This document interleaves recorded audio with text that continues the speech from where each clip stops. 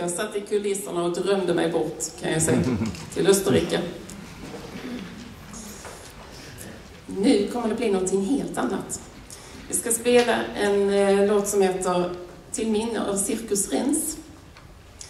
Cirkus Rens var ett eh, cirkusbolag som eh, grundades i Berlin.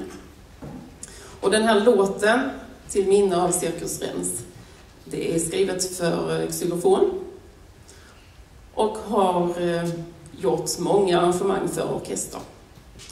Idag så ska vi få lyssna på xylofon, fast orkestern ska ju finnas med också såklart.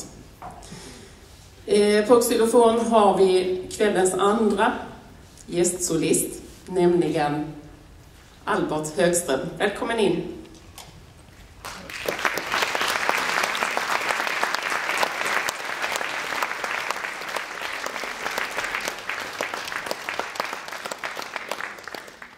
Albert är 15 år gammal, är elev i Kulturskolan och har spelat slagverk i fyra, fem år tror jag han att det var. Eh, Alberts eh, slagverkslärare är Jörgen Gran, som går bak här igen, men hjälpte till med xylofonen innan.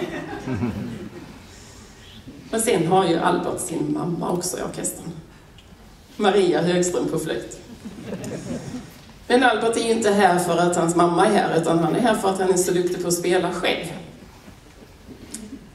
Eh, jag kollade lite med Albert vad han gör när han inte sysslar med musik och eh, fick reda på att då spelar han gärna innebandy. Det är inte så mycket kopplingar till xylofon eller slagverk överhuvudtaget.